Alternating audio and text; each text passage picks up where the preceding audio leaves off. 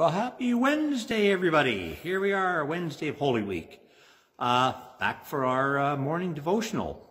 Uh, as I said, this devotional is coming out of the book Why I Believe, edited by Adina Smith. Uh, today's Wednesday's um, devotion is written by Anne Hines. Now, we'll get straight into this. This is titled Easter Every Day. Peter knelt down and prayed. He turned to the body and said, Tabitha, get up. Then she opened her eyes. Acts 9:40.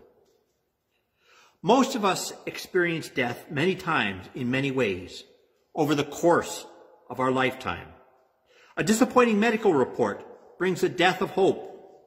A failed business or not getting into a preferred school seems to signal the end of our plans and ambitions. The collapse of a relationship leaves us feeling that our dream of love is gone forever. But God never gives up on our hopes, plans, and dreams, even when we do.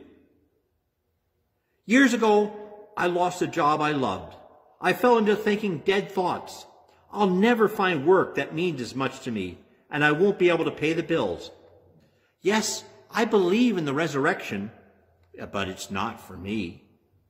The story of Tabitha speaks beautifully to those dying times. Tabitha was a kind, generous woman who made clothing for local widows.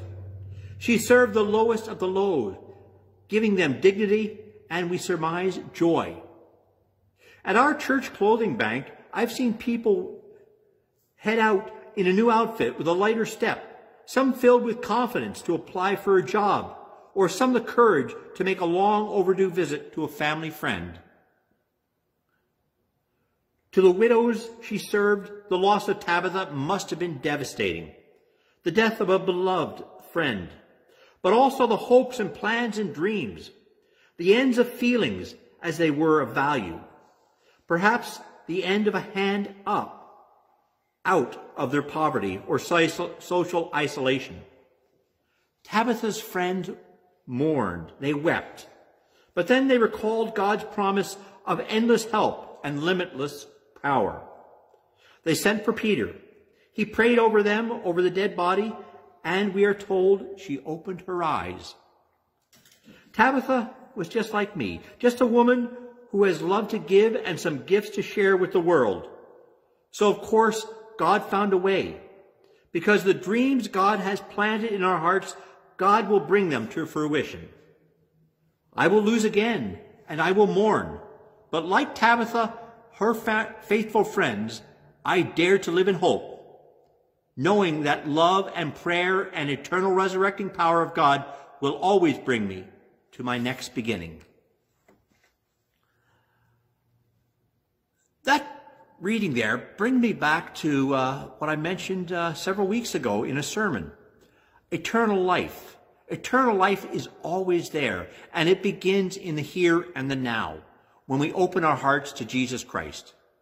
We live that eternal life now, not sometime in the future, waiting for death to take our body and our souls go on, but we can live it now. There are going to be many starts and stops in our lives.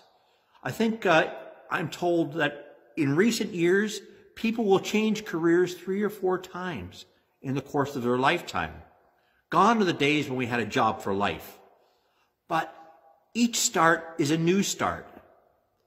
I always remember a saying by uh, General George Patton, the measure of a person's success is how far they bounce, how high they bounce after they've hit bottom.